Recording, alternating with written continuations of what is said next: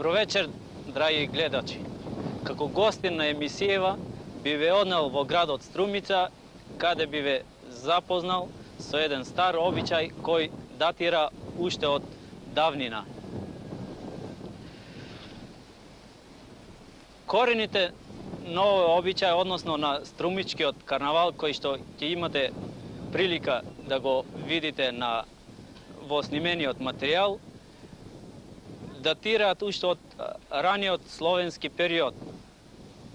Имено, уште пред да дојдат словените на овој терен, во крајот на шестиот и почетокот на седмиот век, тука постоеле две стари градски населби. Од левата страна на Струмица, на реката Струмица, постоела населбата Добер, која што словените, кога се населиле овдека, ја разрушиле и врз неизините рушевини изникнале покасно двете селски населби Добрејци и Добрешинци. Од десната страна реката Струмица исто така се спомнува друга градска населба која што го носела називот Астраион. Овој град бил град на пеонското племе Астраја. Тој се спомнува уште од римско време. Во византискиот период ова населба ја сретнуваме малку под изменет наслов Естреон, која исто така кога дошле словените ја разрушиле и врз неизините рушевини ја создале својата нова градска населба, денешната Струмица.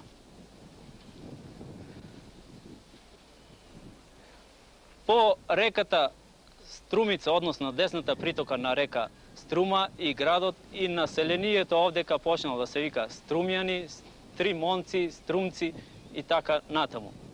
Охридскиот архиепископ Теофилак, кој живеел во крајот на 11 и почетокот на 12 век, соопштува дека Струмица уште во раниот период се претворила во христијански центар.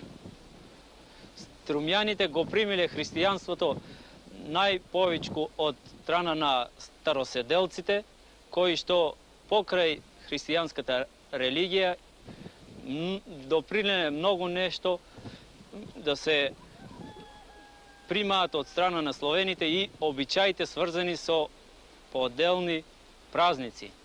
Но сепак, словените бидејќи дошле со своји обичаи, тие во многу ги измениле старите обичаи и ги прилагодиле спрема своите разбирања. Дека словените создале свој новој терен, свој оригинални обичаи, спомнува и византискиот писател Никифор Грегора од 14 век имено во 1326 година, кога ја посетил Струмица, тој известува дека во време кога се одржувал Струмичкиот карнавал, тој видел дека струмичаните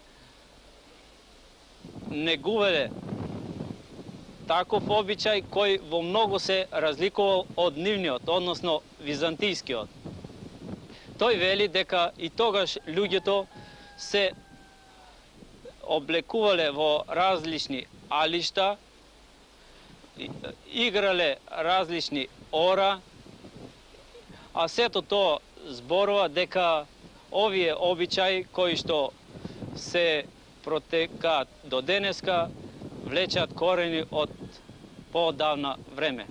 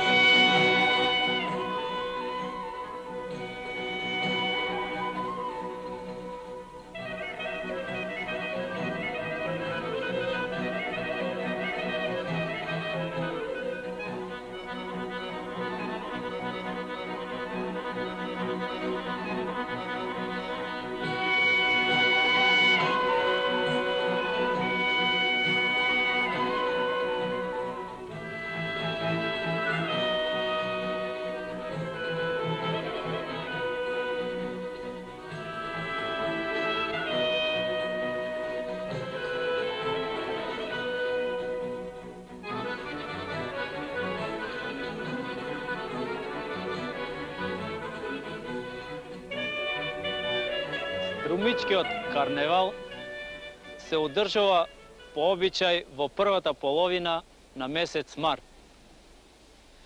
Тој е сврзан со обичајот тримери, кој што започнува веднаш по прочка. Односно трае од понеделник се до среда. Во понеделникот само мажите и децата одаат на брдото Цареви кули и тамо се вари граф, се руча, се игра и овој ден поминува во веселба. Во вторник вечерта всушност започнува карнавалот. Струмичките улици оживнуваат. Младичи, старци, деца преправени во карнавали со различни маски и различно облечени ги исполнуваат улиците и се движаат се така до касно во ноќта.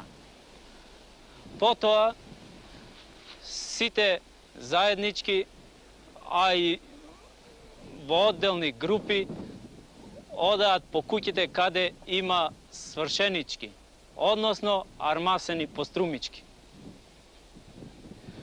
Иако не канети, карнавалите по обичајот имаат право да одат во секоја куќа каде има свршеници. Таму карнавалите се почестуваат, тука се продолжува веселбата, во со се игра, музиката е најразнообразна, од дајриња па до различни инструменти. Така што во вторник вечерта Струмица изгледа така како да се одржува една голема свадба во која земаат учество сите куќи. Во средата са бајлето од страна на младичот свршеник, роднините со подароци одаат кај свршеничката. Подар... Подароците се состојат од а, различни накити па до разноврсни храни. Се носат симиди, леблебија, суво грозје, комбинизони, папучи, фустани, па дури и боза и така натаму. Девојката свршеничка пред тоа по обичајот е должна да подготви разноврсна храна за ручок. Ручокот се состои обично од а, граф, од а, сарма и слично. Од кога гостите ќе бидат отпрвен послужени со сладко и ракија, се става трапезата на која што се ставува потоа се што подготвила свршеничката, а и се што е донесено. Се треба да се изеди по обичајот. За време на ручекот, а и по него, сите се веселаат, се шегуваат, постои обичај да се шегуваат за сметка на оние кои не се омажени, ги мажат, омажуваат на шала и така натаму. По завршувањето на ручекот, сите пак облечени и направени во карнавали се упатуваат кон брдото под цареви кули. Таму се игра, се веселат одново, значи, се фотографираат, се пие, а и помладите собираат кокичиња, од кога ќе се наиграт и развеселат, а која веселба трае се до касно ноќта, сите се враќаат по своите куќи и така завршува овој карнавал кој што е типичен само за овој град на Македонија. What?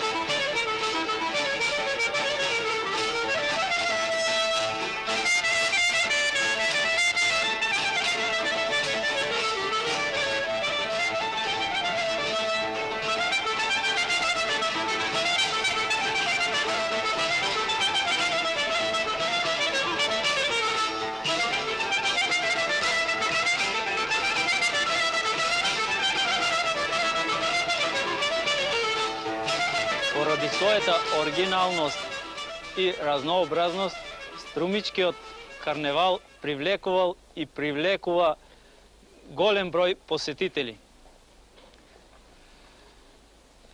Тој и порано, а и занатаму би можел да допринесе многу да се да се развие туризмот во овој крај на Македонија, а исто така присутните би имале можност да ги запознаат и културно-историските знаменитости на градот и потесната околина.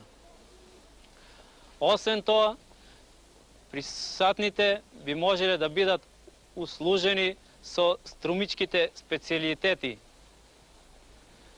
Струмичката мастика, кикириките, раниот зарзават, а гурманите со раните јагниња. Оваа приредба која би требало да стане уште помасовна, во многу би допринела да се претвори во една значајна туристичка атракција.